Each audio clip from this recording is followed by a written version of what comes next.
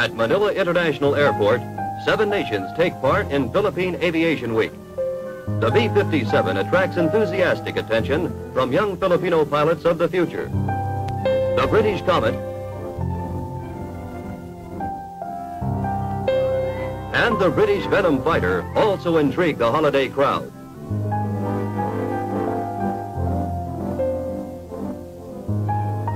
Philippine Air Cadets are on hand as President of the Philippines, Carlos P. Garcia and party, arrive to open the air show.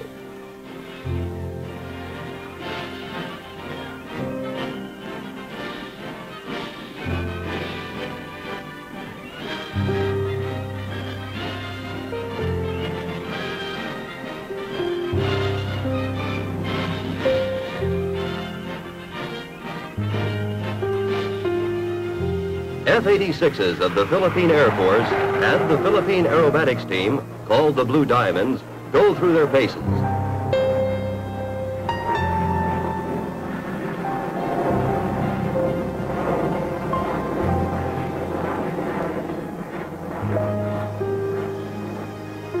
Philippine P-51s, old-timers now, present a marked contrast to the flashy jets.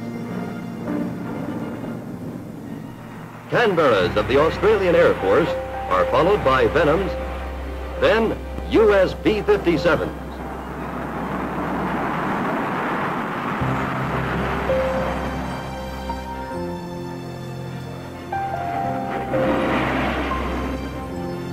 A U.S. jet makes a low pass.